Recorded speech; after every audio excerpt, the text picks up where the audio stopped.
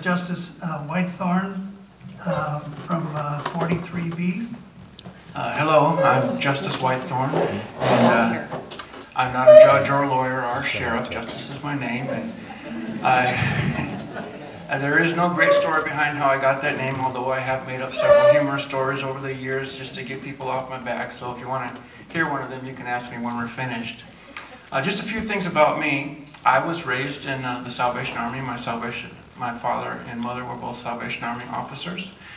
Uh, we made a lifestyle out of ministering to individuals in poverty. It wasn't just a profession. My father always um, kind of shunned what other people called the professional boundaries. The individuals that we served were the people that uh, little children would. I would be invited to their birthday parties when we were growing up. They were invited to my birthday parties. They stayed in our homes.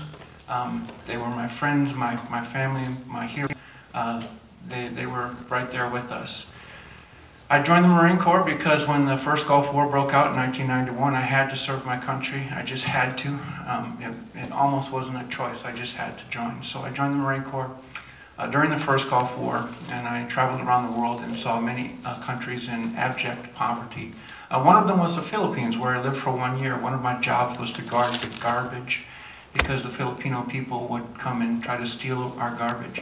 I remembered the lifestyle that my father instilled in me, and I would still give to the poor people who came.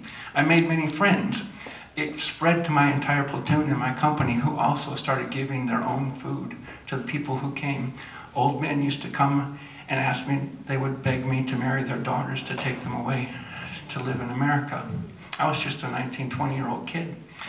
When I came back to the United States, I saw my country a little bit differently, and I appreciated the great things that we have. But we still have poverty in the United States, and I still continue my personal lifestyle to do something about it.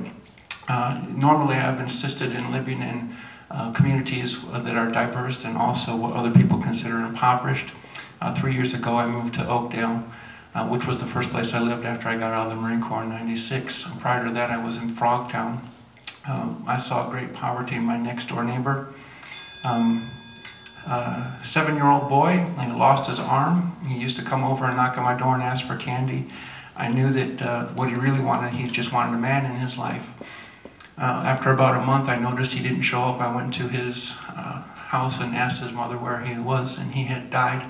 About a year later, his, I met his father for the first time uh, because he moved in with his uh, mother because he got shot and lost his leg in a drug deal.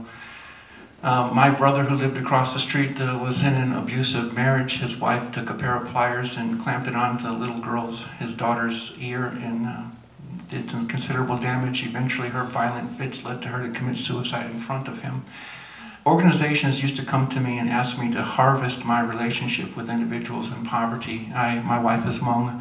Uh, the organizations would ask me to uh, harvest my relationship with the Hmong population because I have some rather extensive ties with individuals in, in these demographics. And I would always tell them the same thing. Um, you're going to have to make the, take the time to build the relationships, to really build the relationships.